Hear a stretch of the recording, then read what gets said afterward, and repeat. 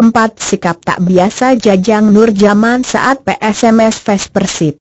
Laga lanjutan grup A Piala Presiden yang mempertemukan Persib Bandung dan PSMS Medan, Minggu, 21 Januari 2018, lebih dari sekadar pertandingan sepak bola. Ada persaingan sejak era perserikatan di dalamnya.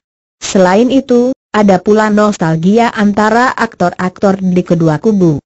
Salah satunya, kehadiran legenda hidup Persib Bandung, Jajang Nur Jaman yang saat ini berperan sebagai pelatih tim lawan, PSMS Medan. Terlepas dari hasil akhir laga yang menjadikan PSMS Medan sebagai pemenang dengan skor 2-0, terdapat beberapa hal unik yang dilakukan Jajang Nur Jaman selama pertandingan. Momentum-momentum itu bisa jadi tak tampak dalam layar televisi. Berikut beberapa di antaranya, lambaian tangan. Puluhan ribu bobotoh telah memadati Stadion Gelora Bandung Lautan Api, sejak satu jam sebelum laga dimulai. Keriuhan khas kandang Pangeran Biru kian terasa saat pemain dan pelatih dari kedua tim memasuki lapangan. Untuk menjaga mental bertanding, mayoritas awak tim Ayam Kinantan memilih cuek dengan riuh penonton, tak terkecuali Jajang Sukmara yang juga berstatus mantan pemain Persib.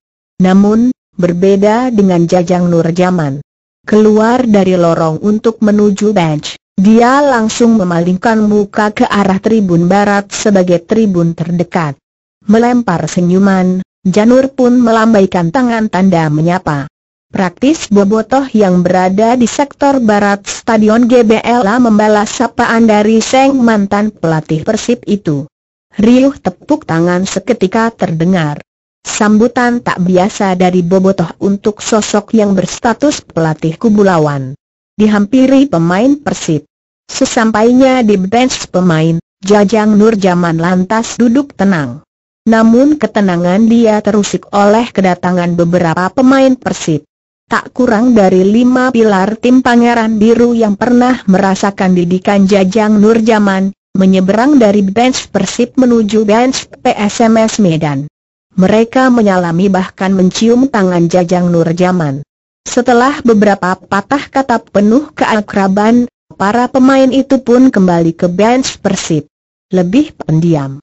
Tak jauh berbeda dengan pelatih kebanyakan, Jajang Nur Jaman juga terhitung aktif memberi instruksi dari pinggir lapangan.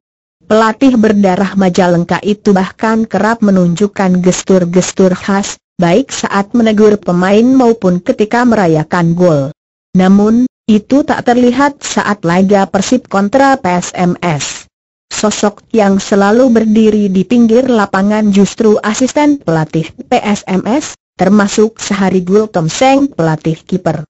Sementara Jajang Nur Jaman hampir tak pernah mendekat ke garis batas lapangan. Dia duduk di bench sepanjang pertandingan.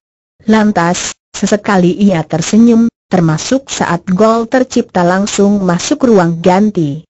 Saat peluit dibunyikan tanda laga usai, para pemain PSMS Medan langsung menggelar perayaan kecil. Mereka berpelukan satu sama lain, juga bersalaman dengan para pemain Persib. Setelah itu, semua awak tim Ayam Kinantan bergerak ke arah tribun utara. Di sana, tepatnya di sektor utara bagian atas, ratusan supporter PSMS Medan hadir memberi dukungan, berbaur dengan Bobotoh. Para pemain dan tim pelatih PSMS Medan memberi salam pada pendukung mereka itu. Namun, dalam perayaan kecil yang berlangsung sekitar 15 menit tersebut, tak terlihat Jajang Nur Jaman. Janur memilih langsung masuk ke ruang ganti, menunggu anak asuhnya untuk memberi apresiasi, lantas menghadiri konferensi pers usai laga.